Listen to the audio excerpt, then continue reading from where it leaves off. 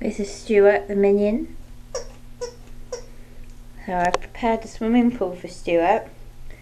And we're going to see if he can swim or if he sinks. Oh, he floats, but he's floating on his front, so that's not very good.